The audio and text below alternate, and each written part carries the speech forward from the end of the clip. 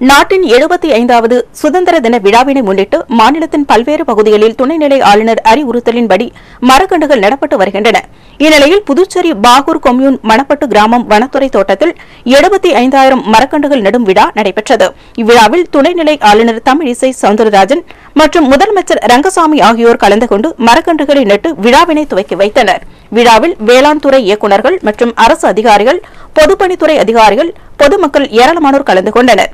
விழாவில் முதலமைச்சர் ரங்கசாமி பேசுகையில் புதுச்சேரியின் பல்வேறு இடங்களில் வறட்சியாக உள்ளதாகவும் இதனை பசுமையாக்க வேண்டும் என துணைநிலை ஆளுநர் விரும்பியதாகவும் தற்போது எழுபத்தி ஐந்தாயிரம் மரக்கன்றுகள் நடும் பணி தொடங்கப்பட்டுள்ளதாகவும் தெரிவித்தார்.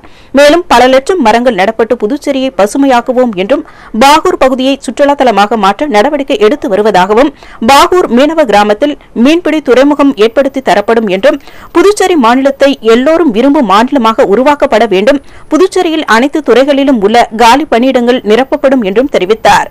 மக்களால் தேர்ந்தெடுக்கப்பட்ட அமைச்சரவைக்கு என்னென்ன தேவை என்று துணைநிலை ஆளுநருக்கு தெரியும் என்றும் நல்லது செய்தால் கண்டிப்பாக அதற்கு தான் துணை நிற்பேன் என்றும் தெரிவித்தார். மேலும் புதுச்சேரியை பசுமையாக தொழில் வளம் வாய்ந்த மாநிலமாக மாற்ற அனைத்து முயற்சிகளும் மேற்கொள்ளப்படும் என்று முதலமைச்சர் ரங்கசாமி தெரிவித்தார்.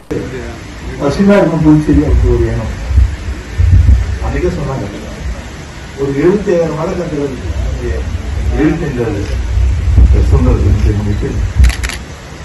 இது நல்லாமே அப்படின்னு சொன்னார் நம்ம இன்னையவாறு எழுபத்தி ஐயாயிரம் மட்டுமல்ல மரம் மட்டுமல்ல. இன்னும் அதிகமான லட்சக்கணக்கான மரங்களை வந்து ஒரு பெரிய பசுமையை அந்த புதுச்சேரி